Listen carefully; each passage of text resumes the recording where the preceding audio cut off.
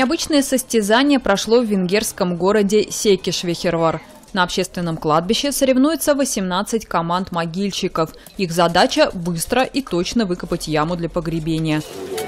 Длина могилы должна быть 2 метра, ширина 80 сантиметров, глубина – метр шестьдесят. В каждой команде два человека. На глубине больше метра надо копать по одному, так безопаснее. Могильщики работают в поте лица.